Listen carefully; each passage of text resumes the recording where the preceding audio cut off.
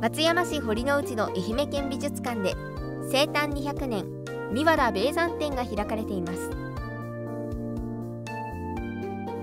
三和田米山は松山市の日代八幡神社の長男に生まれ生涯を神職として過ごしました。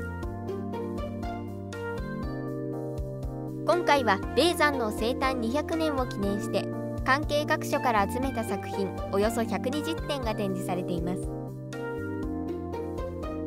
今回、まあ、展示の核になるのがその大阪の実業家で、えー、山本初次郎という、まあ、米山を最初に美術品として、まあ、収集して評価した、まあ、こう立役者の人がいるんですけれどもその方が集めたコレクション今大阪の美術館にまとまって所蔵されているんですけれども、えー、そちらが、まあ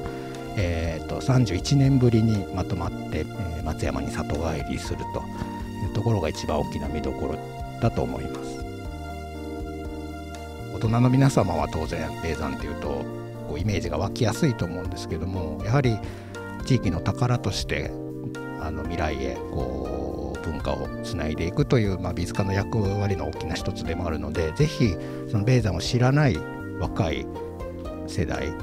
あとこう書っていうとちょっとこう敬遠される分野かもしれないのであのあんまりこう身構えずどの年齢の方にもまあ楽しんでいただきたいと思っています。書を書き歌を読みそして酒を愛した米山何事にもとらわれない天真自在のその書は近代書の先駆として今もなお独自の輝きを放ちます。この生誕200年三和田米山展は11月30日まで開かれています。